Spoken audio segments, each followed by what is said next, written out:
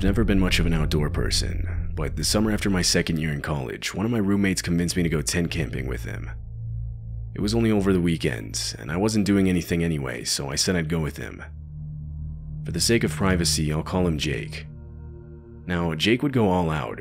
He had a 2014 Jeep Wrangler, the entire back seat filled almost completely with different camping gear. He didn't like to reserve spots at actual campsites, but instead find his own spots, which he said made it more fun. We drove up into the Rocky Mountains for a while until we found a break in the trees with enough space to fit the Jeep through. We then drove off road between trees until I pointed out a good spot. We set up a fire pit, chairs, and the tent we'd be staying in for the night. It was already around 7 p.m. and the sun was starting to set. Jake went to the car and pulled out a bag of hot dogs for us to cook over the fire. Real original, I know, but they were an easy meal, and plus Jake wanted to give me the true camping experience seeing it was my first time. He even brought stuff for s'mores.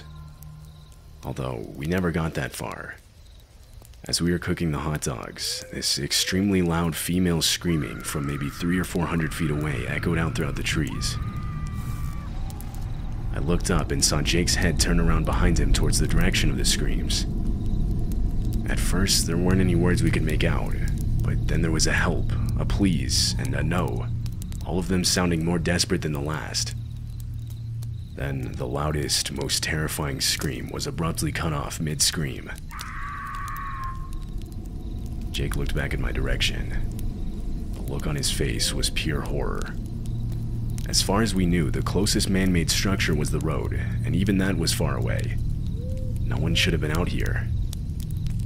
Whatever it was that we just heard didn't even matter. We knew we needed to leave as fast as possible. We started frantically throwing things in the back of the Jeep. We stuffed the still fully made tent inside as we closed the door. I tried calling 911 as we started driving back to the road. I had practically no service out there, but somehow still managed to get on the line with an operator. I did my best to explain what we heard, and they said they'd send out a trooper as soon as possible. It probably took us twice as long to get back to the road, just because this time we couldn't see anything. Finally, we saw the pavement and stopped for a second. We didn't know if we should wait for the cops or not.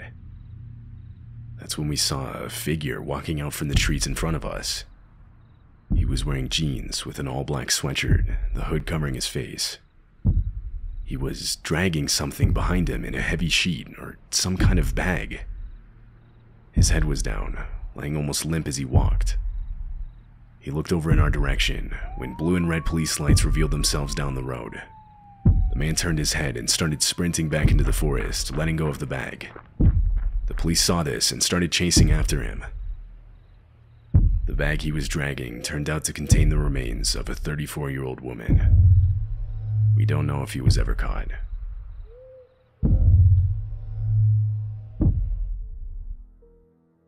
So, this happened when I was in middle school.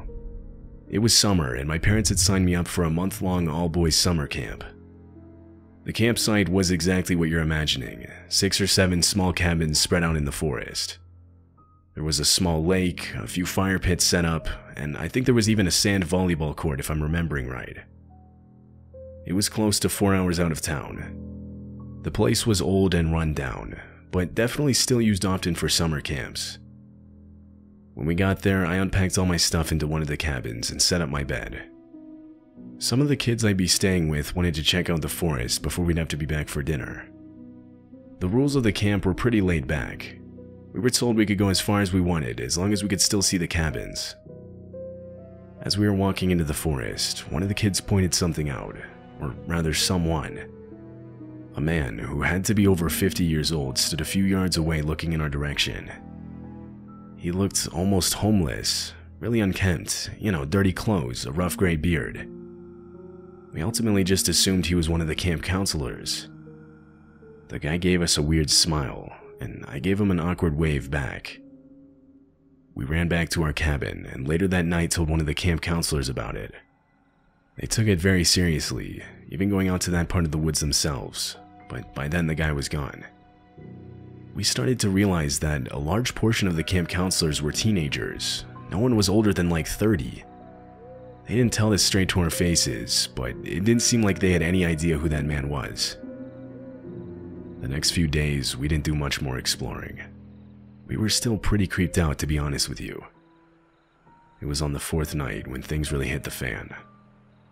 I was sleeping and woke up to the sound of the cabin door handle rattling. Now, most nights at 11 p.m., one of the counselors would knock on all the cabins to remind the kids to lock their doors and go to sleep. Sometimes we would fall asleep before this, and it would end up waking us up. I thought this is what was happening, but I didn't have any way to tell the time, so I had no way of knowing. Being the only one awake, I felt obligated to yell out a response. I'm pretty sure I yelled out something about how we were already in bed. Right as I did this, a flashlight turned on from outside, and the light started pointing in through the windows. Someone was trying to see inside. By then, a couple of the other kids started to wake up. I remember motioning for them to get down. The person outside went around the cabin multiple times, pointing the light through every window as they did so. I don't know if they saw me, but I do know the light passed clear over me a good couple of times. After maybe five minutes, the light finally turned off, and everything once again returned to silence. I explained what happened to the other kids. One of them had a watch and looked at it.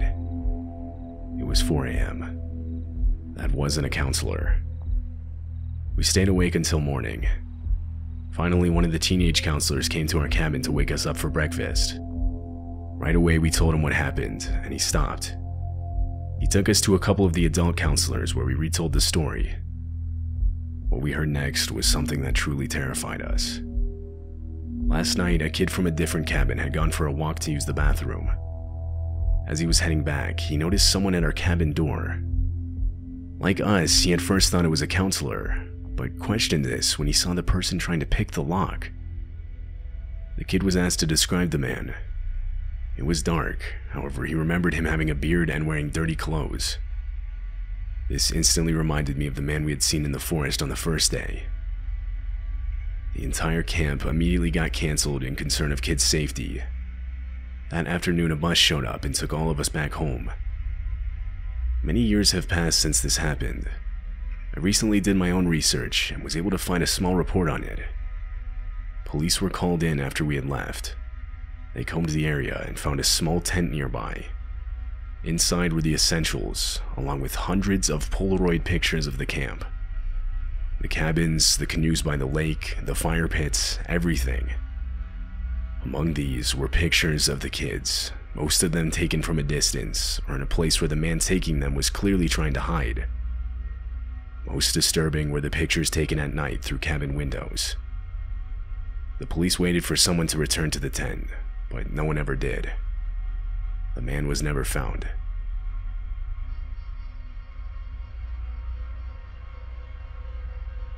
It was approaching the end of summer, and my wife and I wanted to go on a camping trip before it started getting cold out again. I had a ton of camping gear left over from when I used to go with college buddies and wanted to put it back to use. There was one spot we always used to go. It wasn't even technically a camping ground, just a cool spot we had found one time that I thought would be perfect to take my wife. When we got there, we noticed a makeshift fire pit and some trash left behind, so obviously other people had found the spot, but we didn't really care. We set up the tent we'd be staying in and started a fire. We sat around the fire talking and drinking for hours on end, Suddenly, at around 2 a.m., we were interrupted by the sound of a chainsaw starting and revving up.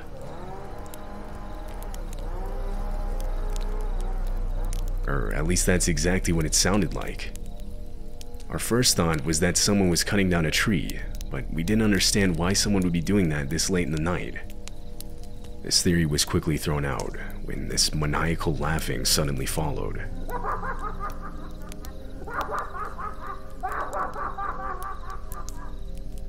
Now we were creeped out. We put out the fire and got inside our tent. It sounded distant, so we felt somewhat safe. Plus, we had a machete if it really came to that. Over the next few minutes, it honestly sounded like the noises were getting closer. But thankfully, the engine, or whatever it was, abruptly cut out and a wave of relief overcame us. After a half hour of silence, the two of us felt comfortable enough to try and fall asleep and surprisingly, we actually did relatively quickly, most likely in part due to the drinks we had earlier. I don't know what time it was, but at some point during the night, I remember opening my eyes, confused as to what woke me up.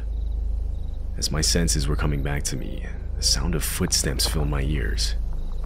I sat up to listen better and noticed my wife had already done the same. We sat there looking at each other, listening. There were multiple sets of footsteps. It sounded like no more than 20 yards away.